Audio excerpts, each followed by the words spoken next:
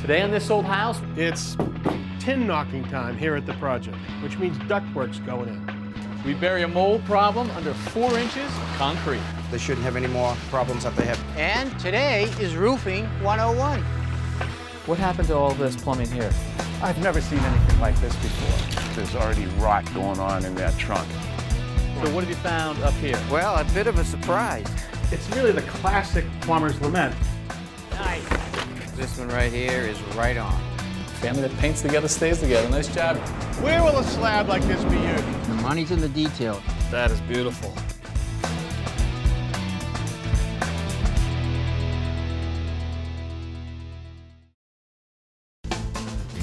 Hi there, I'm Kevin O'Connor and welcome back to this old house here in Newton, Massachusetts, where we are working on this modest house that was built 125 years ago. Now, one of the homeowners, Liz, she actually grew up in this house, and she and her husband have asked us not to just renovate the home, but also to add some extra space over a new garage so that Joe's parents can spend some time here. And when that happens, we'll actually have three generations spending part of the year in this house. It's actually a very tall order given the fact that they're working on a tight budget. Hey, good morning, Roger. Good morning, Kev. And what are you working on? Oh, this tree we said was sick and should come down Yeah. earlier, still sick. Didn't get any better. no, not at all. So that's going to come down eventually? Yep, and we are going to build some stone walls out behind the garage to hold in the banking. Yeah, because we actually cleared it out when we built that new structure right there. Right, and this is a beauty we tried to save, and we did. This is our birch tree. So how did we do? We fenced it off to protect it. It looks okay? It looks okay. Couple things though. With the new addition, some of these branches are actually resting and hitting on the roof. They have to be properly removed. Yep. Then see the three stems, see how this is starting to grow out? Yeah, I'm worried about it, maybe not now, but in the winter of it just splitting and opening, so we want to take care of that. But you can fix all that and we can save this beauty? We can. That I love to hear. This season on this project, we are promoting the building trades as a viable career alternative. We call it Generation Next. And we have three apprentices who have been working all over this house, although a lot of what they've been working on has been renovating our front porch. And even though we've got a lot of work out front there, this front room right here, well, not a lot changes. The big changes happen once you come into this space. And you can see that the wall here between the old dining room and the new kitchen has come down. That really opens up things as well as the views to the new family room. Hey, Richard. Hey, how are you? All right, how are you? Good. So how are we doing with plumbing? Plumbing, awesome. We got uh, all the rough waste and water. We got for our new bathroom, our kitchen, good to go. We connected on to the old bathroom here. Everything's there. We're inspected. Love to hear it. Boiler got delivered the other day. Water heaters on site, not quite connected. And today we're breaking the back of the air conditioning system, doing proper duct work. Oh, wow. Can you save some of that for us? Be glad to. All right, thank see, you. See you a little bit. So a lot of work going on inside, but also a ton of work going on on the outside of this house. We are at the roofing phase of this project, and Tommy is passionate about keeping these houses dry. Hey, Tommy, Yeah. is that passion for a dry house about to rub off onto the apprentices? Yeah, Roofing 101 today. We're going to see what they know. All right, I'll leave you to it. Okay. Later. Sweet. All right, so this is a self-sealing membrane right here. There's a couple of different types out there. This one has a granule on it. That allows you to walk on it, but it also allows it to stay out in the sun a little longer. We like to run it over and up the wall so it's added protection as a flashing, but it still has to be flashed. Now, in areas where you get heavy snow, it's important that you bring a self-sealing membrane from the roof down onto the f- fascia board, sealing that gap. Now let's talk about flashing. This is actually a drip edge. The first big problem that I see roofers do a lot of is they take the drip edge and they gently put it against the fascia board and then they nail it. Then they take their shingles and they put them on top and they make it flush with the edge here. Those are two no-nos. I'm just going to tack it. Again, I'm going to do it wrong, so I'm going to place it flush with the edge.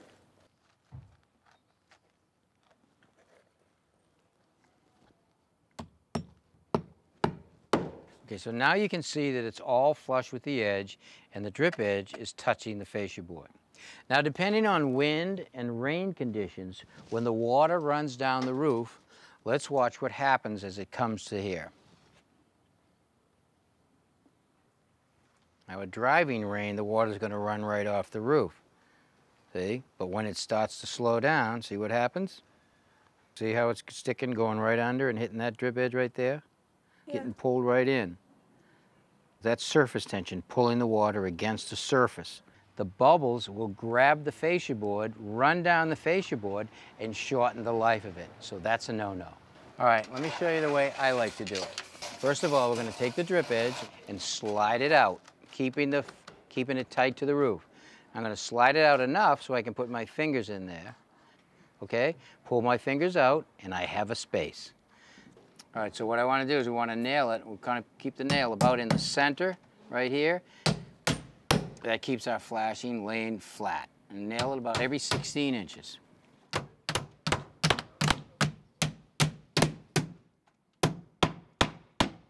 All right, this is an architectural shingle. There are also what is called three-tab shingles, where there's thr- two slots for individual tabs. Architectural shingles are spaced a little different as they go up the roof. This manufacturer makes a starter course. The starter course has this tar right here. It's activated by heat. I don't want the joints to line up, so the first thing I'm gonna do is I'm just gonna take and cut something off of this. Okay, lay it down, put it on the roof with the sticky side down.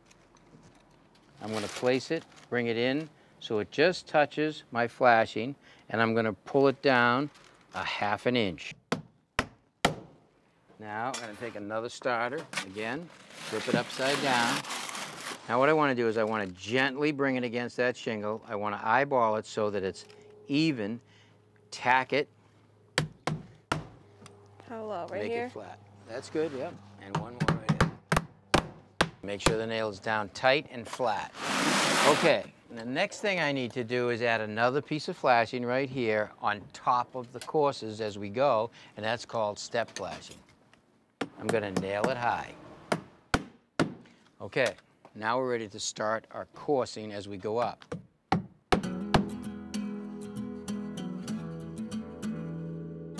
And I only need one nail.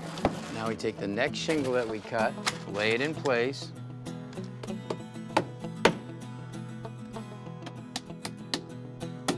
And a small piece of shingle.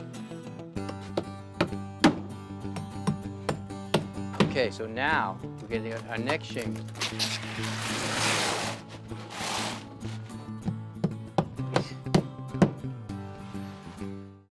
Want to tackle all your home improvement projects with confidence? Join This Old House Insider, a new streaming service from This Old House, the iconic Emmy winning series that inspired a generation of home enthusiasts. Stream over 1,000 episodes of This Old House and Ask This Old House commercial free. Watch it all in the This Old House app and join live online Q&As with our experts. Best of all, you can try Insider free for 7 days. To join, go to thisoldhousemembership.com. Okay, so now let's see what happens when we pour the water on the edge of the roof when it's away and overhung. Ready? Yep. So you can see how the water is just going right away and falling off of the edge. It's not being sucked down around. All right, guys, did you learn anything? Yep. Yeah. All right, good. So I want you to get this roof done, and I'll come back later and check on you.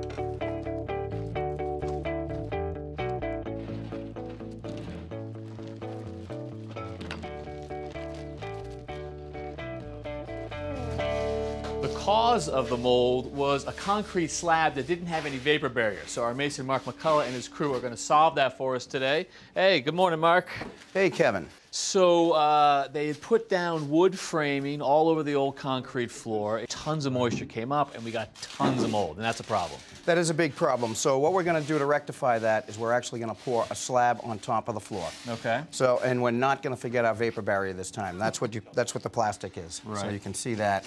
And so what's the thickness of this? That's a thick six mil. okay. Yeah, and that'll create a nice vapor barrier. I laid down everywhere, and I even see that you came up the wall a few inches um, all the way around the perimeter. That's right. We wanted to make sure we had great coverage, so that's why we brought it up all the way. And then what's your formula here? You got sand down on top of this? That's right. This sand is actually going to help the concrete set up once we do the pour. So Okay. this sand will absorb any moisture, any water that's excess. Beautiful. And then your guys are working on the perimeter around there. What's going on? That's right. That is just a foam material that we're going to put all the way around the perimeter of the foundation. Gotcha. And that will allow for expansion, contraction. All right, let's get to it. What's next? All right, well, Krysten and I are going to start throwing the sand down, and then we'll throw the wire, and then we're ready for concrete. Mark's apprentice Krysten is part of our Generation Next initiative. This old house and the mikeroweWORKS Foundation are promoting the building trades as a viable alternative to college for thousands of people. Krysten has worked with Mark for over a year, and she took an unusual path to masonry.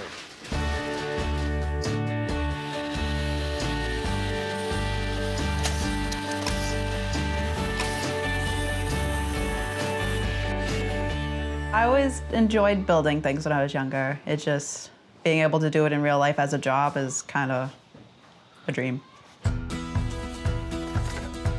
So, how did you get into masonry? Sitting behind a desk isn't for me. I learned that the hard way. Went into the medical field in the office for a year and just wanted to be outside and building, and here I am. Didn't like being behind a desk. No, just wasn't me. Tell me about what you're doing day to day. I started off laboring, uh, which is pretty much tending to the masons, bringing them all their material, their mortar, brick, block, etc. And then um, That's hard work, right? Yes, it is. And then eventually jumping on the wall, the, the masons helped me. They teach me everything and kind of the basics, how to read a level, laying it straight. What do you like about the brick and the block? I like that it actually takes a little bit of skill to be able to lay it. You can't just throw it down and expect it to be perfectly straight, plumb, and range. Mm-hmm. So it takes a little skill to be able to do that. See the wire? Get a hook. Make sure you pull that wire up into the middle of the floor. It's going to help with the reinforcement. And just make sure you do it all over the floor. What do people say when you say, I'm a mason? A little bit shocked. They don't, I don't think they really believe me at first. I, And they don't believe you because you're a woman, they don't believe you because you're young, they don't believe you because anyone's a mason. I think it's a little of all, a little, little of everything. I think being a woman is a big change being in the masonry field. But you're doing it anyway. Yes. Do you think there's a stigma about going into the trades?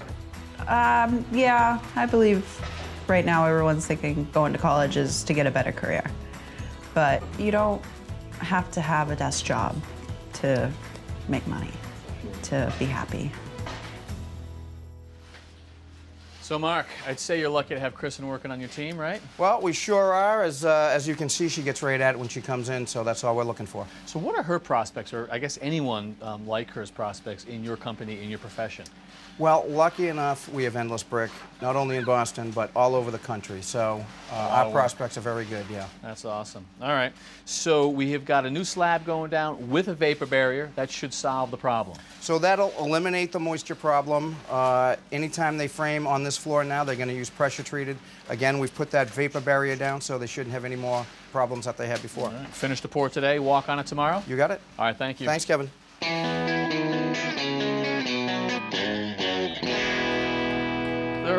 Lot of options for railings, and here at our Idea House in Rhode Island, our builder wants to make a big statement with this main staircase.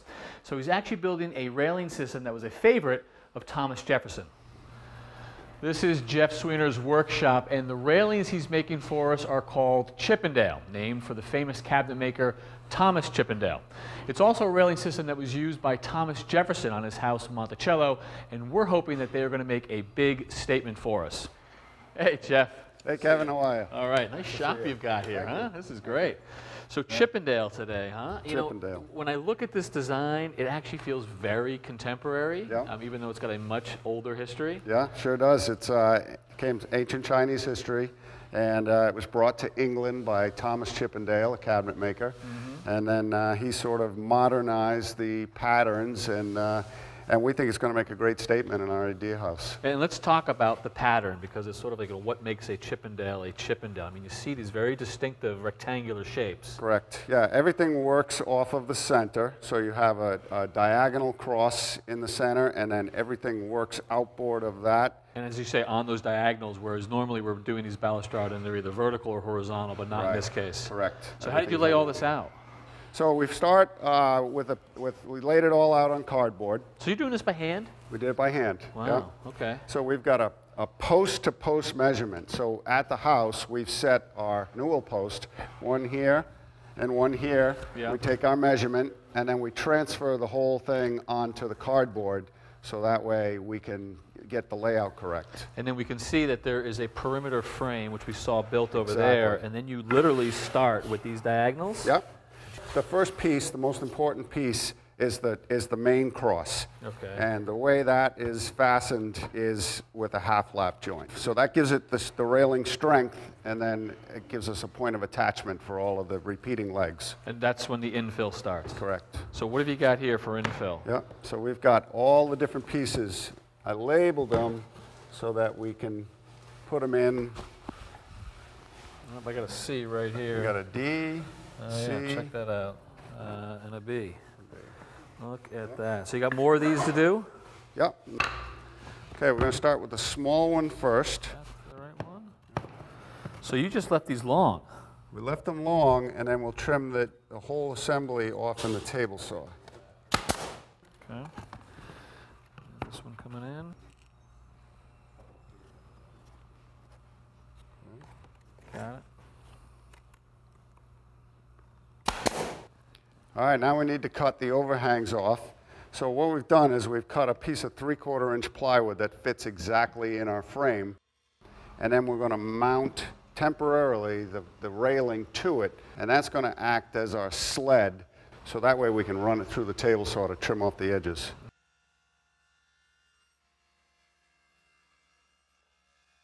Nice. Look at that. And we're going to dry fit it first. It's going to be snug. It is. It goes pretty nice though, huh? Boy, doesn't it? That's awesome. So we can blind fasten all of these into this sub rail.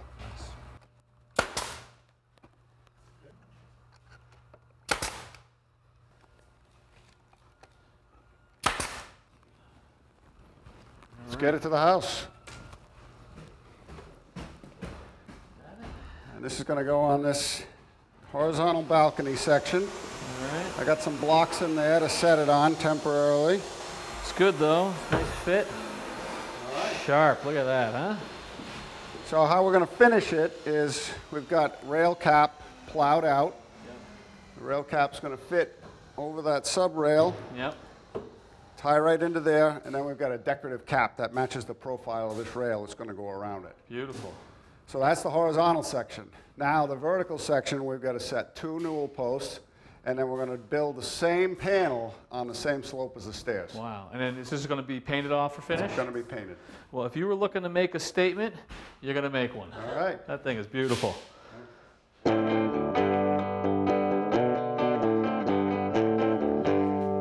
New HVAC system is going in. The heart of it is down here in the basement, Richard. And uh, for the first time in a while, just the old traditional ductwork. Right. You know, we see nowadays more and more people using the flex and assembly like on a Erector set.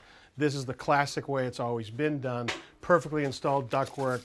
Uh, you can see here a supply going out. Here's the return coming back to our air handler. Not our small ones. We've got plenty of room That's um, in this house to That's put right. this stuff in. But the way it comes to us is not as assembled duct. It comes the way it's always come, which is in two halves. This is a, either rectangular or square, and those pieces will join together.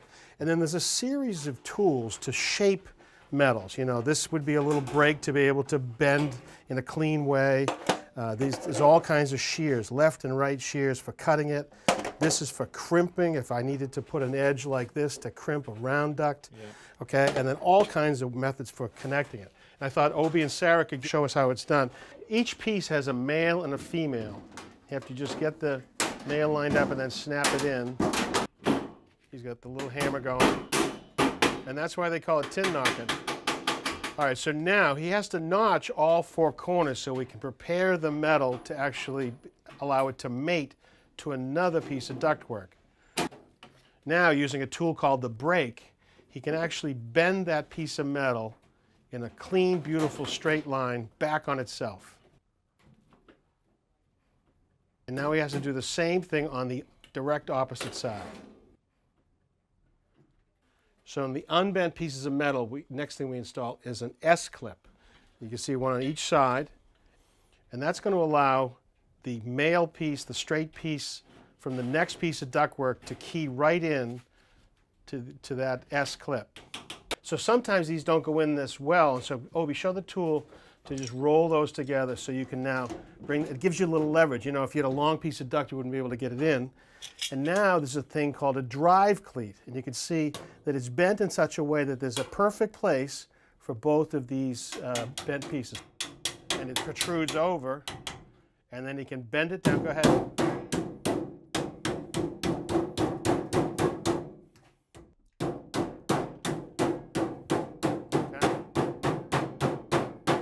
Now we got to do the same on the other side.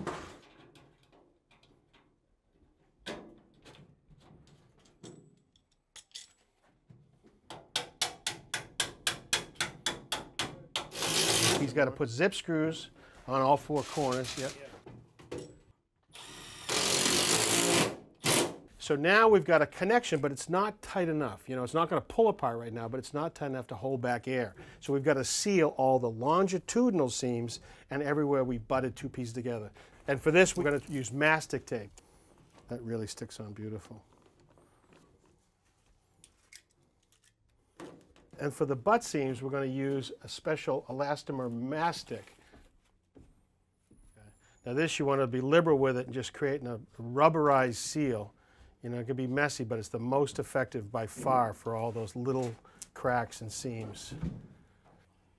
All right, so it goes on gooey and it hardens, but it still stays rubberized, so it, it keeps a tight seal. It doesn't flake off afterwards. So we've sealed all the longitudinal seams. We put a little tape even over that wet mastic, but now we're not done yet. We still have to insulate. All right, so this is a two inch insulation. Okay, you want to pull it so it's snug. I got it here. Okay. And we've essentially fiberglass on one side, foil on the out. That's right. Okay. And then he's going to staple it. Hmm. You're trying to get all the fiberglass. Yeah, that folds it sort of in on himself. Yeah. This is an acquired skill. All right, so Obi, that finishes that one just about. Why is the insulation important? Uh, that keeps the heat or the cooling inside of the ducts, so make sure distribute in the right place, so not inside of the attic or in the basement. The money you paid for stays in the duct, right? All right. Terrific. All right, what do you got left to do here? Uh, after we do this duct work, the last piece there, we still want to handle in in the garage Yeah. and the condensers outside, and then Perfect. we Well, great, to great job. Nice job, Obi. Thank you, Sarah. Thanks, Sarah. Thank you. So what have you got uh, for us next time, Richard? Uh, next week, actually, we're going to run some gas piping with a new connection that doesn't have any threats. I like that. And uh, you know, our apprentices, they're going to get a window lesson from Tommy as we uh, replace all the old windows. Cool. All right, so until then, I'm Kevin O'Connor I'm Rich Trethewey. for this old house.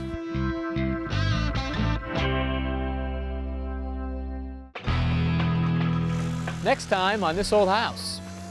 The exterior of our house is clapboards on the first floor and it's going to be shingles on the second floor. And our architect has called for a flare detail to separate those two. This tool takes the drudge work out of gas piping. That's not going anywhere. And our new carpenters learn new window replacement. That's next time on This Old House. Thanks for watching. This Old House has got a video for just about every home improvement project, so be sure to check out the others. And if you like what you see, click on the subscribe button. Make sure that you get our newest videos right in your feed.